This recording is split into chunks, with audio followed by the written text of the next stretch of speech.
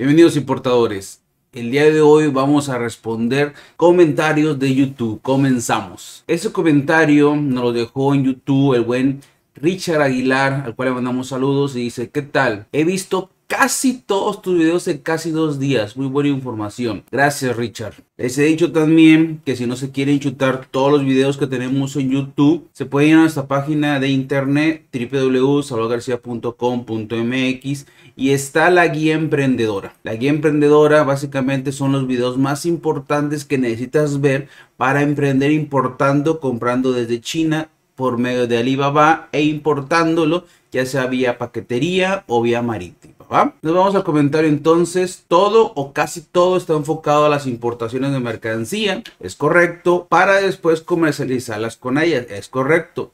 El marketplace para tener como que dos fuentes de ingreso sin necesidad de renunciar a tu trabajo vehículo que es el que te da digamos, tus gastos mensuales fijos, ¿va? Pero ¿qué pasa si quiero importar algo para uso personal? Ahí es el problema. Depende cómo lo envíes. Si lo vas a enviar vía marítima desde China, a fuerza, ya es para uso comercial. Y si es para uso personal, de todas maneras, lo vas a tener que hacer con la formalidad de una importación comercial. Pero en tu caso dices de uso personal, pero vía aérea. Cuando es vía aérea por paquetería todavía hay dos opciones. La opción personal que tú bien mencionas y la opción comercial, ¿va? Dice, quiero comprar un equipo completo de kit surf. Es como surfear en el agua con una cometa. Y lo he visto, viene siendo algo como este deporte. Está muy cool, muy entretenido, la verdad. Ha estado muy, muy chingón hacerlo intentarlo, la verdad. Al parecer tu producto, recuerden, y también lo importante es ver el, el producto. Quiero pensar que no trae nada, pero nada de... No trae nada, pero nada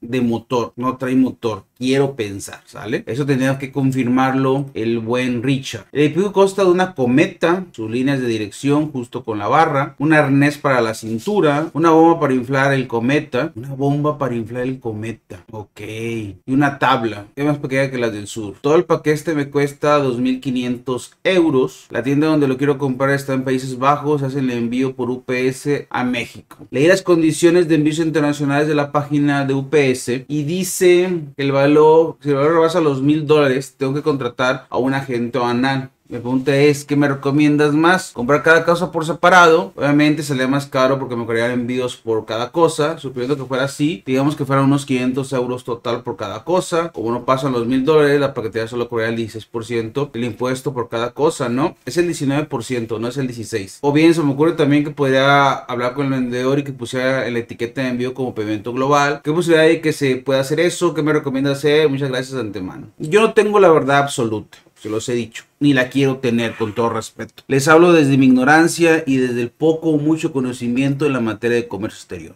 En este caso, como es una compra personal, yo aquí sí te recomendaría intentar comprarle a tu proveedor con el Incoterm DDP. Recuerden que los Incoterm son los términos de compraventa internacional que te dicen hasta dónde llega la responsabilidad del vendedor y del comprador, que incluye lo que pagas y que incluye lo que estás comprando. En Incoterms que incluyen la mercancía y el envío, puede ser como el CPT, CIF, etcétera, etcétera. En este caso sí les recomiendo para esta compra personal que no necesitas ni buscas deducibles y va a ser una importación esporádica, sí te recomiendo que intentes buscarlo en DDP. Si lo logras, qué chingón, ya te quitas de bronca. En el DDP tu proveedor absorbe, eh, te está cobrando la mercancía, te está cobrando el envío internacional, te está cobrando los los gastos de exportación de su país de origen y los gastos de importación en el país destino que es el tuyo, el del comprador, y te lo entregas a tu casa. No todos los proveedores van a venderte en DDP. Por el tipo de producto, ten mucho cuidado. Si lo llegas a separar, estoy casi seguro que no sé de qué material sea el cometa. Que dices también que tienes una bomba para inflar el cometa. No sé si el cometa sea textil o sea de plástico, de que sea, la verdad, desconozco. Pero si separas el producto, te soy sincero, ese cometa si es textil, no te van a dejar importarlo.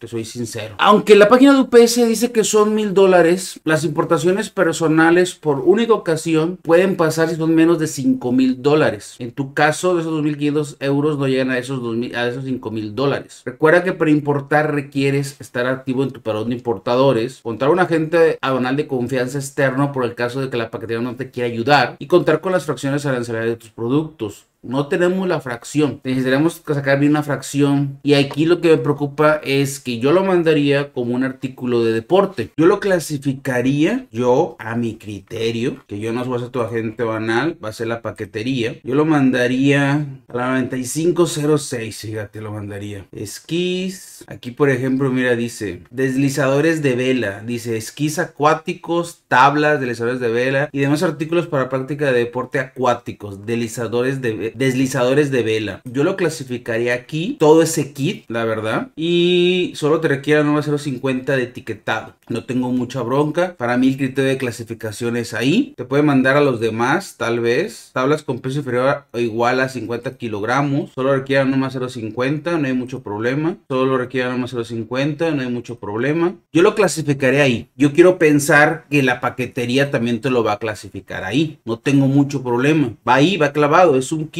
de esquís acuáticos o tablas. No tengo mucho problema, ¿va? Y el problema es que si lo separas, posiblemente no sé cómo lo vayas a separar. Y si mandas de la pura cometa, si lo manden como textil. Ahí va a haber un problema, porque no vas a poder importarlo. ¿Qué quiero decir con esto? Que creo que es mejor enviarlo junto. ¿Qué pasa si lo envío junto, Salvador, pero no me quiere ayudar con la importación, la paquetería? Porque me va a exigir mi padrón de importadores. Yo cuando les digo, dense de alta de padrón de importadores, lo mandas por UPS. Si no te pide el padrón, no lo uses. Si te lo pide, ya lo tienes. Si no tienes el padrón, te va a mandar con agente donal externo. El agente donal externo es más estricto o te va a pedir más requisitos para importar ese kit surf que quieres importar. ¿Por qué? Porque él te va a exigir tu padrón de importadores, te va a cobrar como agente banal si no tienes padrón, vas a tener que retornar a una comercializadora. Los honorarios de la gente ahora son más caros que las paqueterías. Ten mucho cuidado en este tipo de importaciones. Es un albur. Si lo quieres separar, lo puedes separar por paquetes de no más de 500 dólares. No más de un paquete a la semana. Podrías variarlos de varias paqueterías, no solo de UPS, usar varias paqueterías. Yo yo de preferencia que llegaron, que enviaran un paquete, que llegara, que te lo entregaran y después embarcaran el otro. Por cualquier cosa que se junten en la aduana, no se junten dos, tres paquetes. Conforme vayan llegándote, que te vayan enviando los siguientes. Los vas a separar por lo mismo, la tabla, esto, el otro. Y el problema es esa cometa. Si es textil, al separarla te la van a mandar como textil y esa sí no va a pasar. Entonces ahí yo te recomendaría eso. Puedes